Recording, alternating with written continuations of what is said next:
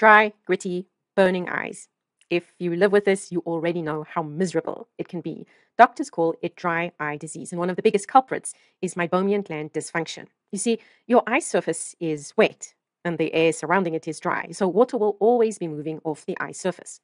The little meibomian glands, positioned along your eyelid, squirt out an oily layer that coats the surface of the eye and in the process traps the water on the surface, effectively interrupting that evaporation process.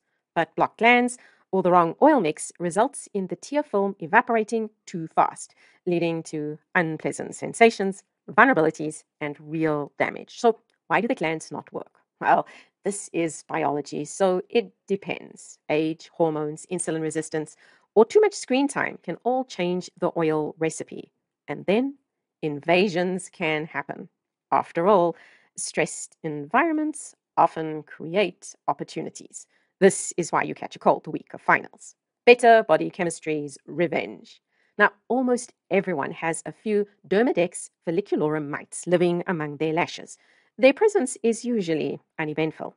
A group of researchers in Beijing wondered if these usual eyelash residents were not contributing to meibomian gland difficulties. So they looked at 119 people already diagnosed with dry eye disease. Eyelashes were plucked, the number of mites counted, and symptoms assessed. Sure enough, those with mites had worse scores across the board. They felt worse, registering higher symptom scores. This is reflected by that ocular surface disease index. In this case, a lower score is better. Their tear film broke apart quicker. When mites were around, it clocked in at 4.2 seconds versus 5 seconds for the mite free people.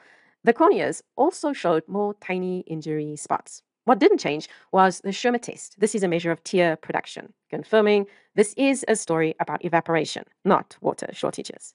The researchers also noted that the glands themselves looked worse. Oopsie! It might be tempting to conclude might cause dry eye disease.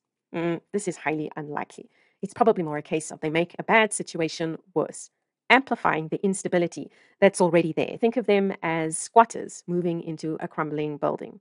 As their numbers rise, they bring their enzymes and bacteria, and that changes the chemistry of the eyelid oils even more.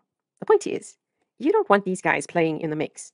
So if your eyes are dry, don't just think bottles of drops. The oil layer matters, and in some cases, mites are part of the picture. The good news there is a simple at home routine you can try that can help rein in those mites. Learn all about it in the Lash Mite Challenge.